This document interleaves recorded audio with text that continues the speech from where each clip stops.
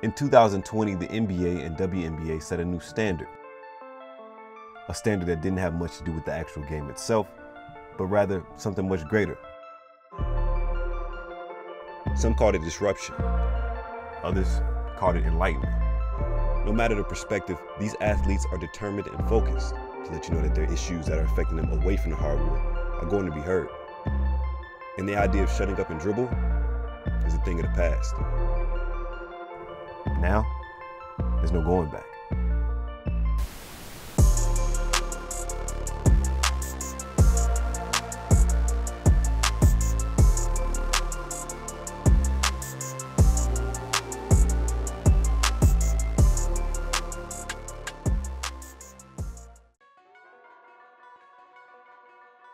In August, the Milwaukee Bucks shocked the sports world when they refused to take the court for Game 5 of their first round playoff series against the Orlando Magic.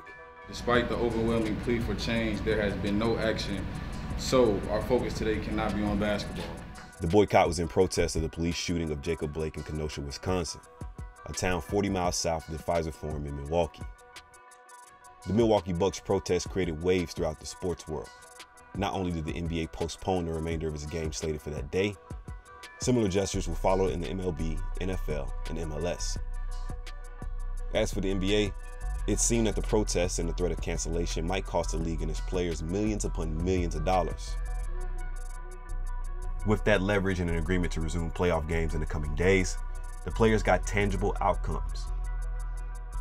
The league promised to turn many of its arenas to voting locations and committed to forming a social justice coalition to promote voting and advocacy for criminal justice reform.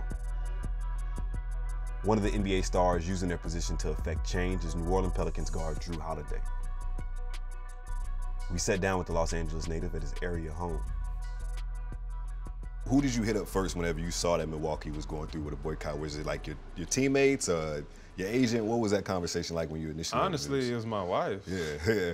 I mean, just her being an athlete and For us sure. watching the game, it was like, dang, like I wish I was there. You know what I'm saying? Yeah, like, yeah. I, I wish I, I wish I could have, I don't know, been there to stand with him. I was proud. I was proud Yeah. to be a part of the NBA. Um, this brotherhood that stands up for what they believe in. As a black man in the NBA and going through the the different things that players were fighting for as y'all were coming back into the bubble, do you think the NBA did their part in uh, not letting the game become a distraction? I think they did a great job. Yeah. Uh, that was something that kind of made me nervous too. Right. But I do feel like the NBA backed us. Putting us actually in those situations to express how we feel about certain situations has been awesome. Upon entering the bubble this year, Jrue and his wife, Lauren Holiday, a two time Olympic gold medalist and World Cup champion, announced that he'd be donating the remainder of his yearly salary, totaling about $5.3 million, a figure that was aimed at helping the black community. We really want to want to help business, small businesses and black-owned businesses, and I think to be able to um, put this initiative out there would spark something bigger. Yeah. And from what we've seen, it has. So. One of the businesses being supported by Jrue and his wife, Lauren, is Compton Vegan. Right now we're in Compton, California. We're at a community garden at my old middle school, and these are some of my plots of land.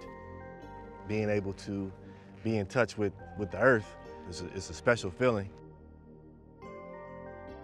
Compton Vegan is a vegan restaurant, um, a mobile delivery service that's serving inner cities all across LA. Our ingredients are fresh and locally grown, straight from the farm to your table. Hi. How you doing? welcome. Today's my sister's birthday, so Oh, really? yeah, we want to take some stuff back to her. Cool. Another business being supported by the holidays is Pucker Up Lemonade. I'm Carnisha Christian, co-owner of Pucker Up Lemonade Company. We're a brick and mortar lemonade stand featuring over 40 flavors of lemonade and iced tea. We're gonna need a big one of these. It's uh, very important to support local black-owned businesses because in today's climate, when we enter the marketplace, we already have several barriers and challenges against us.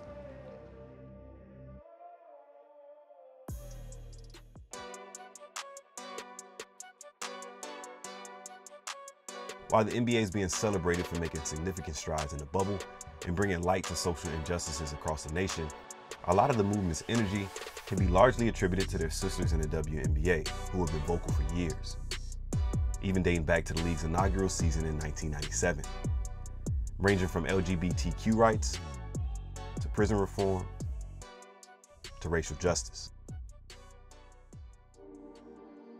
I got on a Zoom chat with WNBA stars Renee Montgomery and Natasha Cloud, who both opted out of their 2020 season in protest of the injustices that we're witnessing around the country.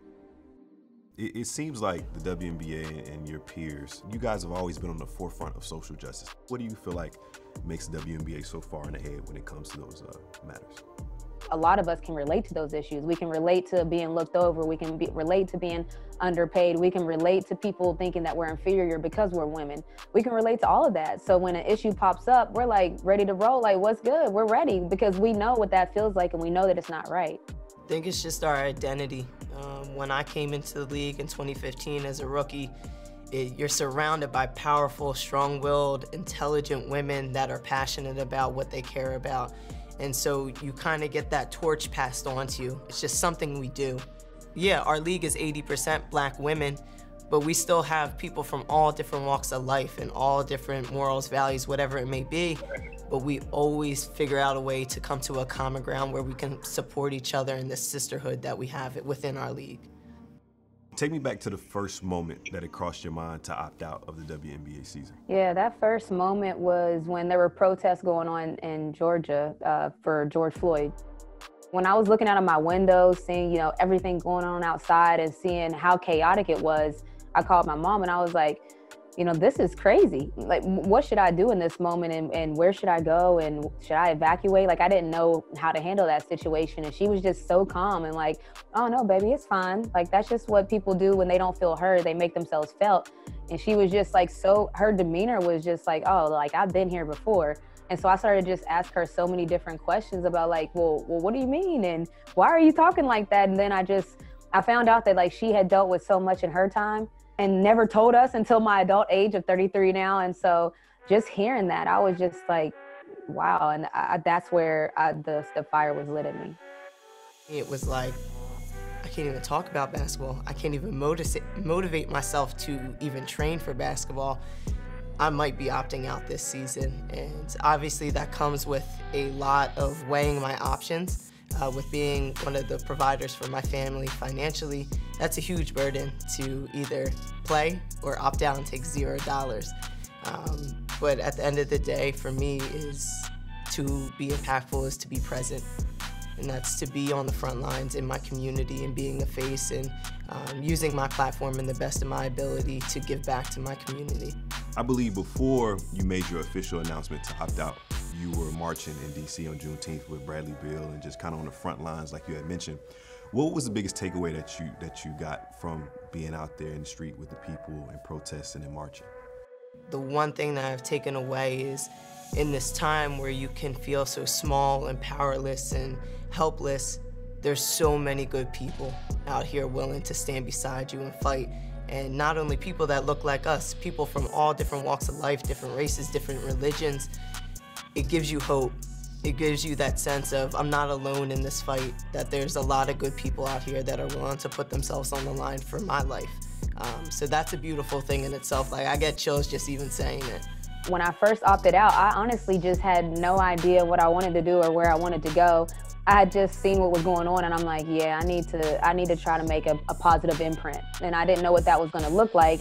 And then, you know, more, the More Than a Vote team hit me up and was like, hey, would you like to join our movement, what we're doing? We have a campaign going on. And they started talking about the different things that they wanted to accomplish. And I'm like, okay. So for me, it was exciting because everyone's looking for, like, you know, how do we fix these systematic problems? How do we cure racism? And, and, and no one can figure that out right this second. But what we can figure out with, with more than a vote is all right let's let's open up more polling locations since we see that some places are closing polling locations and just different things of that nature where I felt like I could have an impact right now. 2020 has, has been interesting. The general public is starting to see the humanity in athletes, and do you hope that you're yeah. kind of a, a, a breath of fresh air when it comes to that and showing that athletes are humans too. Oh yeah, it's beautiful. I mean, if you have a Jamal Murray crying in a post-game interview because he said he has something to play for now. You know, he's talking about his shoes, the people in his shoes, and just so we're clear, the people in his shoes were Breonna Taylor and George Floyd.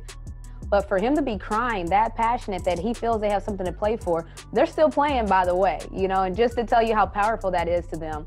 And a LeBron James who we all know him as probably the most powerful, the most influential, the, the most successful athletes on the planet. And he's on press conference talking about, I'm scared. I think if nothing else, people should now allow athletes to be these human role models and not you know they can still be your superheroes but superheroes have emotions too you have to think of it that way then